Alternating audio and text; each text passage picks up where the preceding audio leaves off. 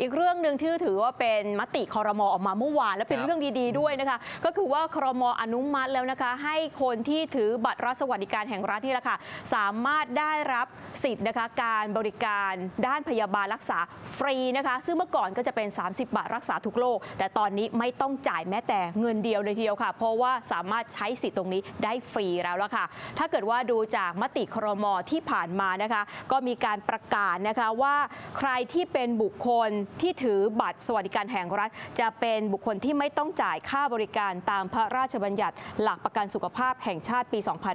2545 ซึ่งถือว่าเป็นไปตามที่กระทรวงการคลังเสนอนะคะ ตรงนี้เพื่อบรรเทาภาระค่าใช้จ่ายด้านการรักษาพยาบาล แก่ผู้มีรายได้น้อยค่ะ แถมเหลือเงินนะคะ ไว้ใช้จ่ายซื้อสินค้าและบริการอื่น ๆ ค่ะ อันนี้ถือว่าเป็นวัตถุประสงค์หลักของโครงการนี้เลยทีเดียวนะคะ เพราะว่าปัจจุบันก็มีผู้ลงทะเบียนใน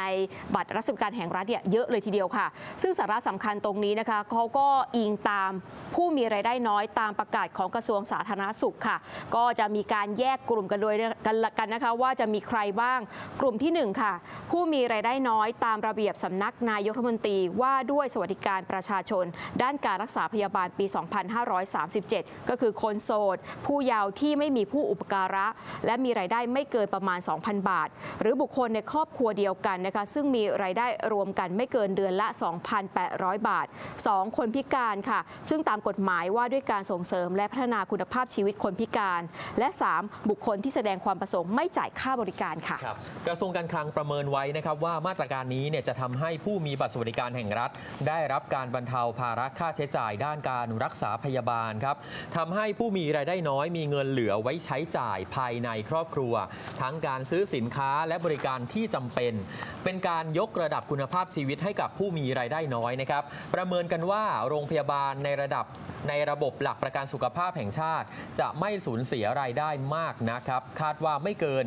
61 ล้าน7แสนบาทต่อปีเท่านั้น มาตรการนี้นะครับถือว่าเป็นส่วนหนึ่งของการรวบรวมการดูแลประชาชนให้มาอยู่ภายใต้โครงการสวัสดิการแห่งรัฐ ซึ่งแก้ไขกฎหมายเพื่อให้ผู้ถือบัตรสวัสดิการแห่งรัฐ รวม 11 ล้านกว่าคนเนี่ยเข้าไปเป็นส่วนหนึ่งของผู้ที่ไม่ต้องจ่ายค่าบริการ ตามพรบหลักประกันสุขภาพ อยู่ในอำนาจของคณะกรรมการหลักประกันสุขภาพแห่งชาติอยู่แล้ว คาดว่าน่าจะมีผลบังคับใช้เร็วๆนี้ เพราะฉะนั้นใครค่ะมีบัตรสวัสดิการแห่งรัฐอยู่ในมืออรอฟังข่าวดีได้เลยนะครับ มีค่ะผลบังคับใช้ตอนไหนปั๊บ เวลาที่คุณป่วยถือบัตรนี้ไป